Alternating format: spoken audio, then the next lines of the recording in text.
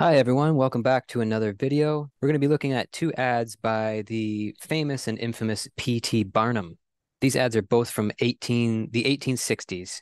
Now P.T. Barnum was known for his publicity stunts and his exaggerated kind of way of advertising and promoting himself. The Barnum and Bailey Circus was the most popular venture, I guess, that he was involved with.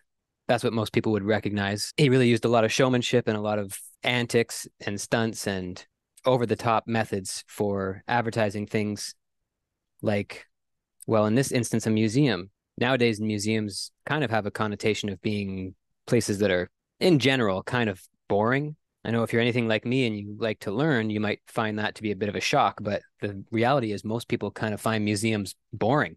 And even though there was a lot less entertainment back in 1860, which is 160 years ago now, still compared to a lot of other things you could be doing, a museum might still be thought of as kind of a relatively boring thing to do. I'm sure people were curious. I'm sure people enjoyed them. But like I said, just compared to some other things that you could do with your time, it's not always the first pick. So, what did P.T. Barnum do to overcome this challenge? He used a lot of sensational advertising. The first one we're going to look at here is for Barnum's American Museum. And we have this illustration of a hippopotamus, actually, two hippopotamuses and there's a man there with a stick who looks like he's kind of training them and they have their mouths open to show their big teeth. And they look enormous. And it says the living hippopotamus or river horse from the river nile in egypt of which the above is a faithful illustration. Now at the museum is the greatest curiosity ever exhibited in this country. He is the first and only real hippopotamus ever seen in america is engaged at an immense cost for a short time only and should be seen by every man, woman, and child. For fuller description and other novelties, see daily papers and small bills. Admission to all 25 cents, children under 10 15 cents. Now, one thing to note about this advertisement is this ad itself would have been in a newspaper. And apparently, what Barnum would do is take up two or three columns in these one column newspapers. So normally a, story or an ad would just take up the place of one column. And what Barnum would do would be to purchase two or three full columns and put one ad across the entire three columns, which was basically unheard of at the time and considered kind of flagrant and in poor taste. But that is how you get get attention. So that's the first thing to understand about this ad is that it would have taken up the space of two or three newspaper columns. So this is a, probably a pretty big ad in a newspaper. And in order to p- get people into the museum, he chose to feature a rather sensational exhibit that was at the museum at the time, which is a living hippopotamus. And he says it's a living hippopotamus or river horse. So for someone who's never seen anything like that, he lets you know re- what it is right away. It's a living, it's a hippopotamus and it's going to be alive and he relates it as a river horse. So people probably had no idea what a hippopotamus was back in 1860. I mean, if they had an idea, they certainly hadn't seen one, not if they were in America. So instantly he gives it that colloquial name, river horse. So they have some type of frame of reference for understanding what the heck this thing is. And then he quickly says, from the river Nile in Egypt. So this is an exotic item. And if you look at the illustration, the guy who's taming the hippopotamus or or training or whatever he's doing, he's dressed in some kind of exotic clothing as well. He's wearing it looks like a turban of some kind. So this illustration paints the fact that this is an exotic creature. We're told what the creature is, and we're told it's from an exotic place, which is Egypt. Then we're told that the illustration is a faithful representation of it, and we're told straight up that this is the greatest curiosity ever exhibited in this country. Okay, so you've got a lot of hype right off the bat, a lot of reason to pay attention. And then in bold, the first and only real hippopotamus ever seen in America. There's a lot of clout that comes with being the first of anything. So when you are, you might as well tell everyone, right? This is the first and only real hippopotamus. And by saying it's the only real hippopotamus, you're kind of calling out any competitors who might claim to also have a hippopotamus as being phony or fake. And then another thing he spells out right in the ad is the fact that it's engaged at an immense cost for a short time only. So he spent a lot of money to bring this here, and it's only here for a short time. So these are just a couple quick reasons why people would want to attend. People are interested in things that cost a lot of money. And if something is for a short time only, then you have to act fast in order to get it. So for a simple museum ad, this has quite a lot of showmanship, quite a lot of character. It's got a lot of attention getting value just from the illustration alone. He plays up the exotic nature of it. He tells how great it is. It's the greatest curiosity ever exhibited in this country. He plays up the credibility of being the first and the only real one. Gives a few reasons why people might be interested in seeing it other than that for the fact that it costs a lot of money to get to the States and that it's only for a short time. So, this quick ad, not only is it a very large ad in the space that it was in and gets a lot of attention, it also aims to move the people who see the ad to come to the museum by playing up the exotic nature and the exclusivity and the limited time only, the urgency required in order to actually see the animal.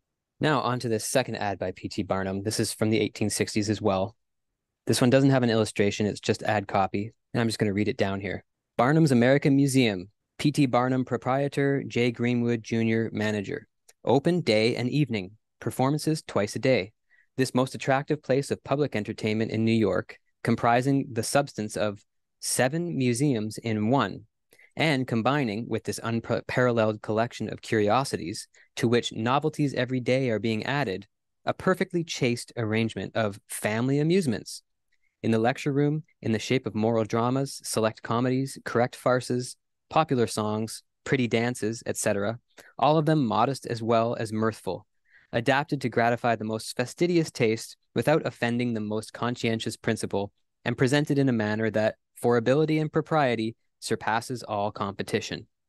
Admittance to the performances, as well as all the curiosities, 25 cents. Children under 10, 12 and a half cents. I think it says 12 and a half cents there.